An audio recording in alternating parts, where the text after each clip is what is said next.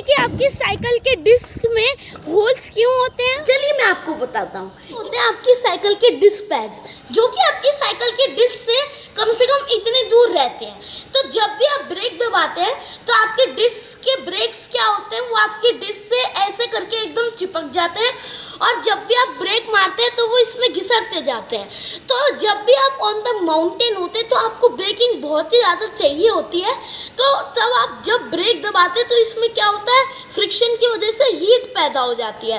तो हिल में आपको बहुत ज़्यादा ब्रेक्स दबानी पड़ती हैं। ब्रेक्स की वजह से इसमें बहुत ज़्यादा हीट पैदा हो जाती है और ये आपका डिस्क ब्रेक मेल्ट भी हो सकता है।